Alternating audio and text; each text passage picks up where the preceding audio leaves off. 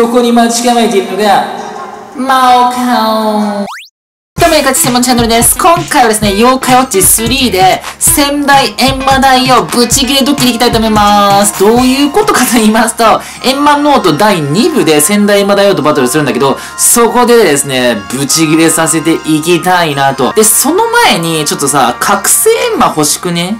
覚醒閻魔欲しいなということで、ちょっととやっときましょうか。バスターズキャンペーン、ワープ。ちょっと覚醒閻魔とバトルしてから、仙台閻魔だよとバトル行きますわ。なかなかさ、覚醒閻魔が仲間になってくれなんだよね。確実に仲間になりそうな方ないんだろうなで、覚醒閻魔とバトルするためには、妖怪ウォッチ3の寿司、天ぷら、すき焼きの3連動が必要となっております。で、天ぷらないな天ぷらないなと思ってたんだけど、なんかね、ふと、ちょっと机探してたら置いてました、天ぷら。で、この謎のおじさんに話しかけることによって、連動していることが分かり、アイテムがもらえます。仙台までの手形からの天ぷらの香り。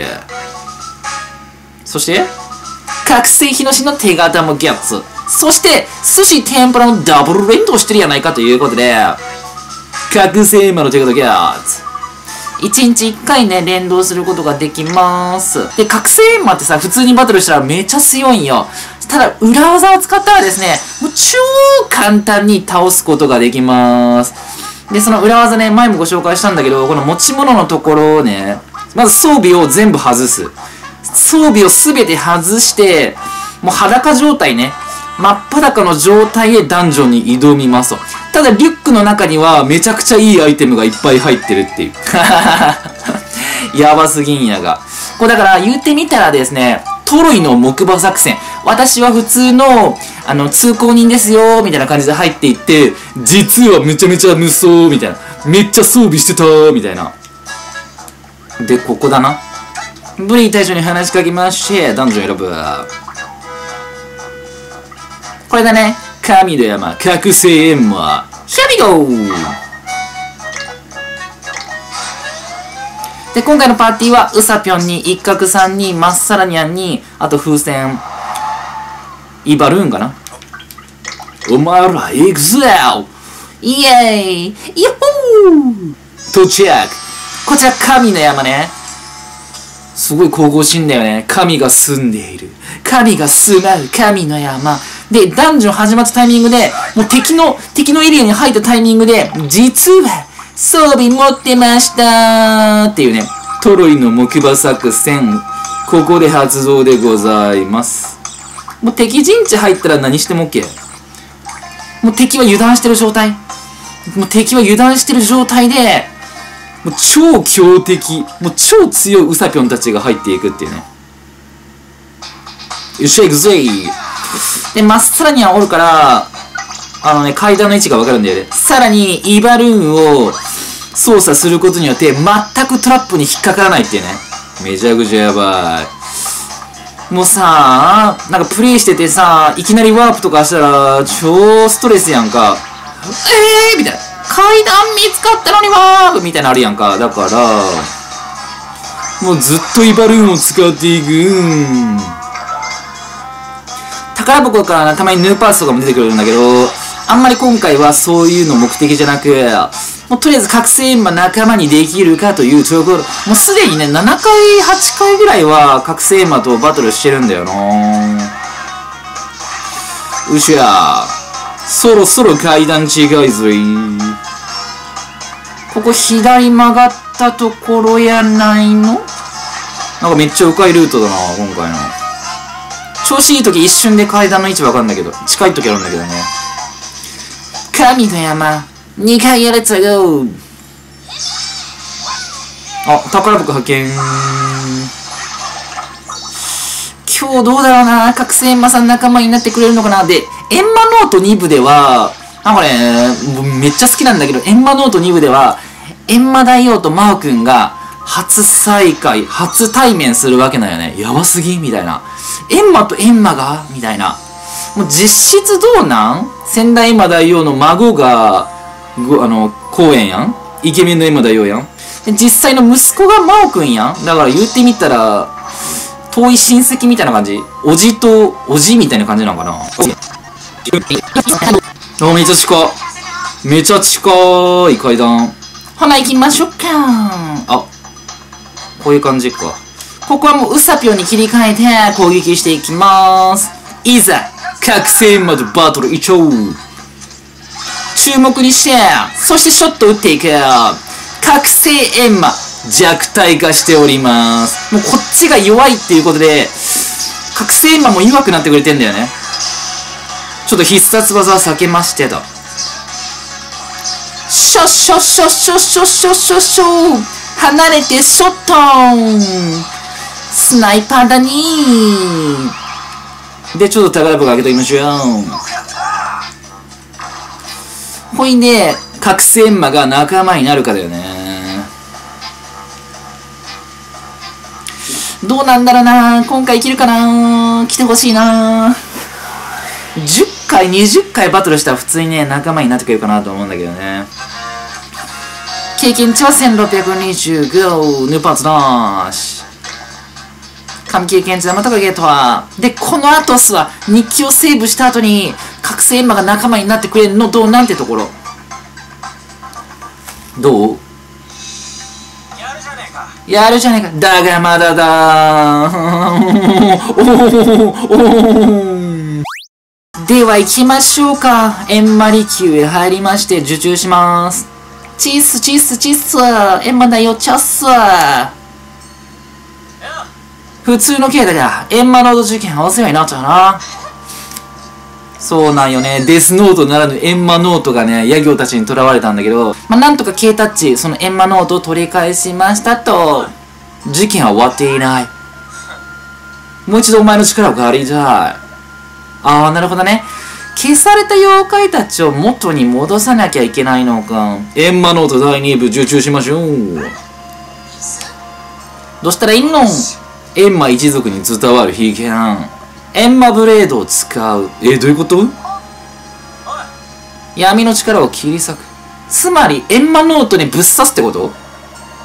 ノートの持つ能力を切り裂くことでノートできる。つまり、エンマノートの能力をなくすということは、あれやま。剣には封印が施されている。マジか。神妖怪を召喚し試練をくればしたい。えー。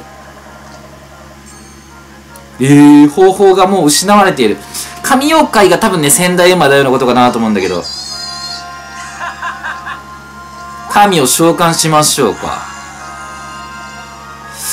妖怪ということだから、よっぷるしゃ行ってみましょう。神殺しをしないといけないという、そういうことなのね？よっぷる下に、レッツラゴー。ジョーズさん。スティーブ・ジョーズ。エントランスガーデン到着。で、よっぷる下にジョーズさんおんのかな？おえ？あー、マーク・シャッチバーグ CEO のお部屋にいるっていうことかなジョーズさんも確か退任したと思うんだよな。あ、ジョーズっちマークくんがいないね。マークくんがいないね。ひさひさひさ大王さんも自らおいでになるぞ。え？エンマ大王もおる？こいつの解析チャラミチャイ。エンマ一族財宝。神妖怪が宿っとんやと。なるほど。我が社が一番。妖怪の召喚。そうだね。妖怪ウォッチも作ってるし。妖怪パッドも作ってるし。妖怪の召喚には詳しいと。お任せあれ、イエス。頼りになるわ、天才の上手し。お待たせいたしました。解析終了。神と呼ばれる妖怪を召喚するには、ケータの力が必要。なんで？ーなんで？ー妖怪ズドリームで行うドリームリンクには失われてきるです。封印解除と同じ効果がね。なんてなんて？封印解除と同じ効果がある。妖怪ウジドリームには。ケータがドリームリンクを行うことで神をドリームリンクって何だったっけ？ドリームリンク神妖怪を召喚したら試練があると聞いてますよ。ラブが壊れちゃうよ。どうしたらいいの？ファイティングルームで召喚してね。妖怪打ちドリームだったら召喚ができるとそういうことか。うーん。親子に立てるなんて光栄でしょエンマだよ準備できた？よんあちょっと待って。ちょっと待って。セーブしてなかった。ちょっと待って。ちょっと待って。セーブする。ちょっと用事済まさせて。普通にファイティングルームでセーブできるね。マジか。シャイクゼイ準備バッチリでごわす。いよいよ仙台まだよとバトル行きましょうかい。封印解除しちゃうよん。ドリームリンク。ウェイすご。いこうベルトからあの時計外してバシコンってはめたね。神妖怪登場仙台エマだよ。めっちゃ降臨してる。やば。我を呼び起こす者は誰じゃ仙台エマだよって一応ねもう死亡してることになっとんやけどどういうこと？復活的な感じ？すげえな。じいちゃん死んだはずじゃ。復活。仙台閻魔大王が蘇生ってこと？やば。仙台の力に勝つことが閻魔ブレードの試練ウェイ閻魔の血を引く者よ。この剣に宿りし力を願うか。えなんて？なんかあれやね不動明っぽい感じだよねなんかこう自分が味方になっても大丈夫かこう押し量ってるそんな感じがするねやってやろうじゃねえか。エンマ大王も一緒にバトルみたいなそんな感じかな。勝たなきゃエンマノートで死んだ奴ら死んだままに。エンマノートで死んだのってなんかね、誰だっけ？ボス系の妖怪だった気がするよね。今の俺としては許せねえ。うわ、胸圧、激圧やん。何これ。で、仙台閻魔大王、ブチギレドッキリ、まず1個目。敵に大嫌いなものあげる。一応好物がおでんなんだけど、一番苦手なものあげちゃいましょう。で、このじいちゃんが嫌いなものっていうのがですね、こちら、ホットドッグ。めっちゃうまいんだけどな、嫌いなんだって。果たしてどんな、あ、相手に使えないなんで？じゃあ、身代わりバグドッキリしよっかなえー、嫌いなものあげれないの？マジで？マジで言ってる？相手に好物あげれないんだ。マジか。ということで、急遽、急遽ね、身代わりバグを使うことにします。身代わり人形って基本的に使えないんよ、こういう強い敵にはね。で、バグを使ってみます。漢方を選択した状態で、左へスライドさせて、身代わり。どう？じいちゃんびっくり？ま、ま、待てー じいちゃんもあぜん。何をしとんじゃどうなった？どうなった？あー、また1からかまた1からなんだ。そうか。なんかこう、不戦勝、たまになんか不戦勝になったりするんだけど、そうか、ダメか。なんかホットドッグあげたら、地獄行きだみたいな感じで、言うっぽいんだよね、仙台山大王。ダメか。まあ、とりあえずバトル行こうっと。よしそうか、あげれないのか。普通にバトル行きまーす。まあ普通に倒せると思うけど。ミッチーは、これ仙台マダイオって移動する系かな？移動しなさそうだね。なんかボス的な感じっぽいね。ミッチー、ちゃってください。猛烈水の突撃。仙台まだよ地獄行きの審判だやば日野神いっちゃうかな？なんか日野神がめちゃめちゃ有能なんだよな。ちなみに敵の HP ちょっとだけ減り日野神の必殺技が超優秀でさ。今回仙台まだよって全然移動しない感じだけど敵が移動する場合でもさこうランダムだからこう敵が動いた後にもう一回必殺技。敵が動いた後に必殺技ってやったら確実に当たるんよね。メガヒートレンバズビーン。243のダメージそしてスケサーズ妖怪ブラスター。妖怪ブラスターでニョロロン方面が。多分これ友達になるとかないんだよね。アタックモードしかない。アタックモードかアタックモードハイしかないっていう。確実に当たるニョロロンハーミングもうこのまま このまま倒せるかもしれない。普通だったらこう狙い撃ちしないとあかんねやけどホーミングだからもうどこに撃ったってシューンみたいな。シューン。どこに撃っても確実に当たる。なんか紙系の妖怪って妖怪ブラスター苦手だよな。経験値4万えぐ。お金は？423ドル。つまり4万円。やば。この金を持つにふさわしい。当然やしあこれで OK? あそうだ仙台エンマだよって仲間にならないんか。あそうだそうだ。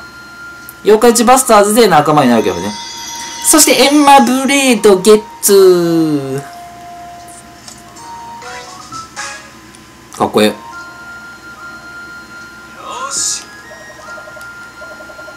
エンマノート開放しよう。エンマノート持ってはったんや。これエンマブレードで真っ二つ切りってこと？え？最初のページが変。どうした？人間の名前が書かれている。もしかしてえ？え？え？エンマノートに人間の名前が書かれている。このノートは妖怪にしか効かないのでは。これってさマオくんの名前じゃない？もしかして。エンマノートにマー君の名前が書かれてるんじゃない？マー君死亡ってことじゃない？えでもどういうこと？日陰マオトエンマノートの最初のページに日陰マオって書かれてるってどういうこと？どういうこと？どういうこと？どういうこと？誰が書いたんだろう？誰だケイタ？あそういうことか。ヤ行たちがだからマー君の名前変えたってことだよね。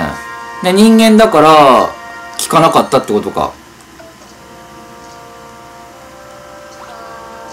ええー、日陰マオ知らないのケイタクラスメートやないかい。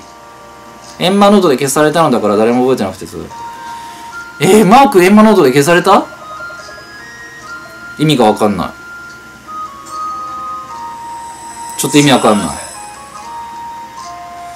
とりあえずエンマブレードでわっさー。ここはじいちゃんに連れられてきたことがある。さくらニュートンからつながる山かいそうなんだね。妖怪ウチ3だとなんか妖魔界エレベーターで行ったらなんか洋楽みたいななんかレストランみたいな食事どころみたいな感じになってんだよね。妖怪ウチ1、2だと、なんかね、こんな感じで、越見回路になってて、で、奥にイカカムネとかいた気がするね。妖怪ウチ2、妖怪ウチ2だったらどうだったっけ？いけなかったっけ？どうだったっけかな？のぼせとんまんおるやん。これ話しかけたらボス戦かな？おで、桜の湯でお風呂に浸かっただけなのに、のぼせとんまん消されてるってことやん。出られないって言ってる。早く温泉に浸かりたいかっぷん。そういうことか。まあ、ヤ行たちはさ、あのー、エンマノートをゲットして、ボス妖怪たちの名前を書いていたわけよね。そして妖魔界の王になろうとしていたわけでしょ。だから、邪魔な妖怪、ボス妖怪たちを消してってたわけね。で消された奴らがこの妖魔界のところにおると出れなくなっていたノーと思った妖怪にやられたんで、どんこ池にいる子分を傷つけられたと。成敗してやろうと思ったけど、帰るうちに、あー、ノートに関われと目の前真っ暗になるんだ。へー。そうなんだ。一瞬で、一瞬でこう消えちゃうんかな。で、ワープなの。越見回路にワープみたいな感じ？え、めっちゃおもろいやん。てか、閻魔の、え？これダイブできるんちゃうかったっけ？開いてないんかな？なんか妖怪内1とかだとさ、ここ一見回路のところ、なんか落ちれるようになってたんだけど、落ちれないようになってるわ。てか、閻魔大王操作できんのめっちゃいいな。ちょっと待って、ちょっと待って。セーブとかもできないんだ。マジか。このままさ、人間界に行けたら面白いのになちょっと試しに人間界行けるか調査しよう。閻魔大王がこちら、妖魔界越見回廊から出ることはできるのかいや、奥だ。俺はこの奥に行かなきゃならない。ああ、戻れないんだ。もう奥にしか行けないんだ。なるほどね。人間界には行けないか。閻魔大王操作できんのってめっちゃなんかいい感じだよね。チートっぽい感じでめっちゃいいね。テンション上がるわ。閻魔大王操作できてる。ウェイ。まああれか、バスターズでも操作できるけど。閻魔ブレードを持った閻魔大王。剣持ったまま走んのって結構体力使いそうだよね。やったことないけど。剣持ったままランニングってできるみんな。できへんよね。だから、まあ言うてみたらさ、マオくんも、そのエンマノートによって消されたわけでしょ。マオくん、殺されたわけでしょ。やばいよね。どうしてここにいるギョル？黒いノート持った妖怪が、小学校にやってきて、罪を犯した妖怪が消えるがいいって言われた。ちっちゃい姿に悪いことしたのは昔で、ちゃんと反省してるって。大きくしてほしいギョロ 面白ってことで到着しました。玉座ね。ここに待ち構えているのがマオくんマオくん名前書かれて消されちゃったの？マオくん死んじゃったの？すごいよねこれマオくんと閻魔大王が話してんだよね君が今の閻魔大王なんだねお前は、初めて会う。初めてなんだ。初対面で。どこか懐かしい気がする。なんか玉座になんか置いてね閻魔ノートなんかなあれ。お前も、そうだな閻魔の血を継ぐ者。もう伏線回収えぐいやみたいな。妖怪打ち1で、仙台閻魔大王の息子っていうことが明らかになり、妖怪打ち2とか経て、妖怪打ち3でついに閻魔大王とこう話すっていうね。閻魔大王になりたかったのか？記憶は消されてるっぽいけど。僕は人と妖怪が仲良くできるなら、それでいいと。同感だ。あ、光ってる。円盤ノート光ってんやない？マオチン。これを探しに来たんやね。ぶった切って、ここから解放してやる。ありがとうな元の世界に戻ったら？元の世界に戻ったら？バシュン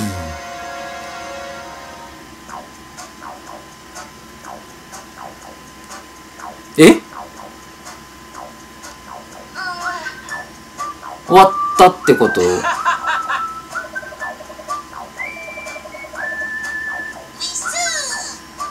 ああそう。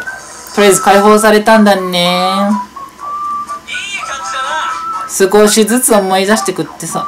なんか仙台山大王ぶち切れドッキーしよう思ってたけど全然なんかちゃんとできなかったな。身代わりバグしかできなかったな。使えないの？もうエルマノートって。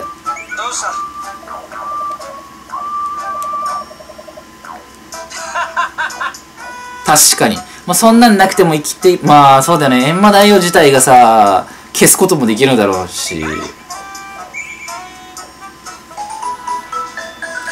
でもなんかあればさ空泣きとかも消せたかもしれないよね。そういえばさなんかあのぬらりにさ話聞きに行こうかな。ぬらりがなんかあのね相続接収のことなんか話してくれるんやないかな。ぬらりちーん。大王様は妖怪と人間の仲良くなることでより関係になると思うから。昔の先代を思い出してしまう。先代の話に興味があるが。おなしゃす。人間と妖怪が仲良くすべきやと考えてたけど。はいはいはいはい。懐かしいなこの話。そのための世界を作るためになんか尽力してたんよねと時代とともに人間も妖怪も変わり人間は身勝手にそして争いをやめることなかったと。で人間の影響で妖怪たちも悪さする妖怪増えてったと。妖怪不祥事案件もその一つ。先代は一度氷を断とうと考えた。この計画を実行に移す前に先代は亡くなってしまった。多くの妖怪は先代の思想が変わったなどと知りよしもなかったと。今の大王だったら先代の変化を見ても人間を見捨てようとはしなかった。人間というかなくらそうはみたいなことか。クックありがとな。俺に不満があるなら直接言いに来ればいいんだけどな。あちょっと待って。もう一回。もう一回しっかりして